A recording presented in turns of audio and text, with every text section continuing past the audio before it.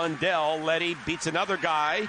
Beats another man up the middle and on goal, oh. and he can't get a shot. Oh, I thought there was a little hook there at the last second. And now Buchnevich in the corner for Barbashev in front. Tarasenko, and he scores! What a shot by Tarasenko, and the Blues have tied the game at four. Holy jumping there is life in the third period for the boys in blue. Absolutely, but look at them outman them. A three on two down low. The Florida Panthers are in great shape right there. They've got five men in the right spot, but it all started with Leddy dissecting the middle of the ice. He's very good at that. He gets it into the zone, and this pass by Barbashev was perfect right there.